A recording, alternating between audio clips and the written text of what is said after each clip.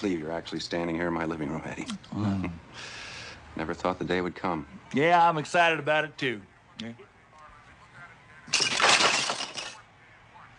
I'll, I'll get that. Don't worry about it. Let me do it.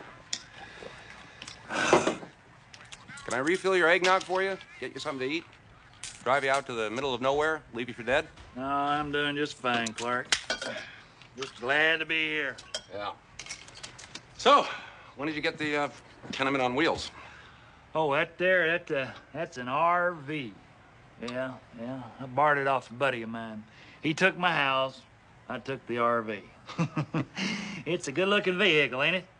Yeah. It's so nice parked in the driveway. Yeah, it sure does.